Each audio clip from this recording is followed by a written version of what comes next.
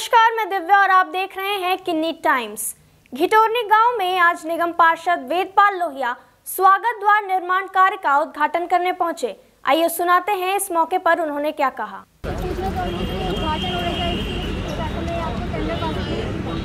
ये टेंडर काम है तो सरकारी काम बिना टेंडर के नहीं हो सकता। सरकारी कोई भी काम हो, कोई निजी कोष से नहीं काम हो सकते। ये सरकार का दक्षिण दिल्ली नगर निगम का काम है। और ये दक्षिण दिल्ली नगर निगम कर रही है।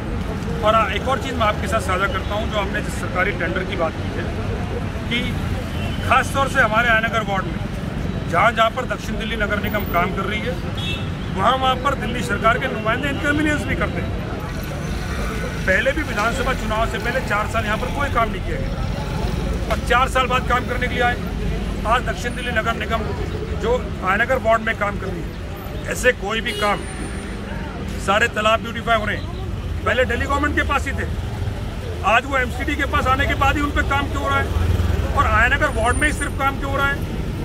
सिर्फ़ आयनगर वार्ड में छह तालाब है, घटोरनी में, आयनगर में, जौनापुर में। इन पर काम क्यों हो रहा है?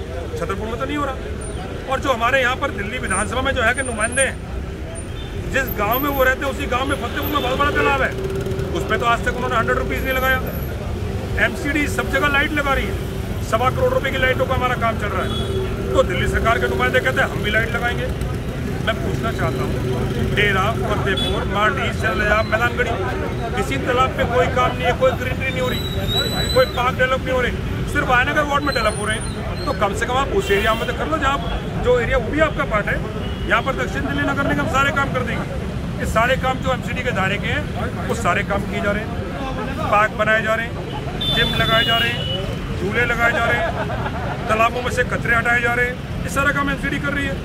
तो यार जो काम होते हैं वो उनको थोड़ा चुनाव के नज़दीक है। तो उन्हें लगता है कि कहीं पब्लिक को उनकी से खरब कम हो रही है। हाल ही में भाजपा से आप में शामिल हुए रमेश अम्बावता ने पार्षद पर हमला बोलते हुए कहा था कि वेदपाल लोहिया केवल एक और साल के मेहमान हैं।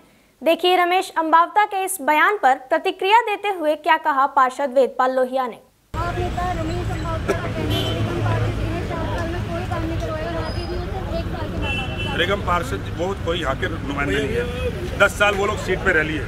दस साल वो लोग कोई काम नहीं करे। ये जनता तय करेगी ये पब्लिक का काम है। उनका काम नहीं है। और उनको हमने देखा हुआ दस साल अगर वो रहते तो पार्टी उन लोगों के टिकट नहीं काटती। बीजेपी ने सारे के सारे पार्षदों के हंड्रेड परसेंट पार्षदों के टिकट काटे क्योंकि इनके कंडक्ट अच्छे नहीं थे। अभी आपने देखा चंद्र, यहाँ पे बसंत कुंज में एक निगम पार्षद दस लाख रुपए ब्राइब लेता, बीजेपी का पकड़ा जाता है। ऐसी हालत रही है। तो जिस पार्टी में इनका रिश्ता रहा है, इन्होंने हम कंडक्ट पूरी लिख डाल दिए कोई डेवलपमेंट नहीं हुए। इनके रहते हुए मैं चैलेंज करता हूँ। इनके रहते हुए एक शौचालय तो बना नहीं दस साल में। दस साल में जिम लगाओ एक, दस साल में एक भी पार्क बनाओ, दस साल में डार्क स्पॉट्स खत्म हुए हो, दस साल के अंदर तालाबों के ब्यूटिफिकेशन हुए हो, दस साल के अंदर हाई मास लाइट लगी हो। दस साल में तो उन्होंने कोई काम नहीं किए आज साढ़े तीन साल में चैलेंज करता हूँ। साढ़े तीन साल में हमने इनके दस साल से ज़्यादा काम किए और ये पब्लिक तय करेगी पब्लिक का काम है। किसी का ये गलत फहमी दूर, हम इस बार दूर कर देंगे उनकी।